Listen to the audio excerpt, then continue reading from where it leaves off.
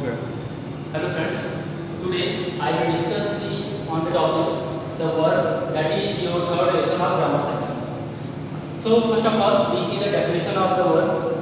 The word is originated from the Latin word verbum, that means the most significant word in the sentence, and it's a word that in syntax conveys an action or state of being.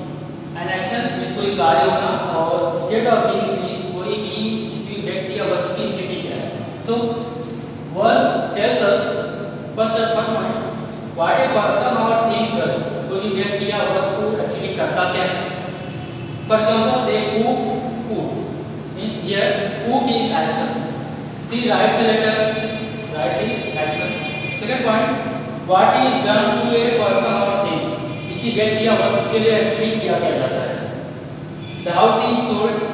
घर बेच दिया गया है. Now this action sold is done for the house. Second, Mohit was punished. This action was done uh, for Mohit punished. Third point, what a person or fish is. कोई भी व्यक्ति या वस्तु एक्चुअली है राणा प्रताप was big. राणा प्रताप बहादुर थे. He is a boy. वह एक लड़का है. Now see in two sentences.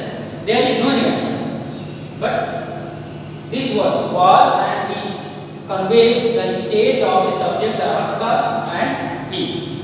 So this is the first part of uh, the topic the work. In uh, next video, I will discuss the kinds of work, uh, or means uh, finite and unfinite work. So this was the video.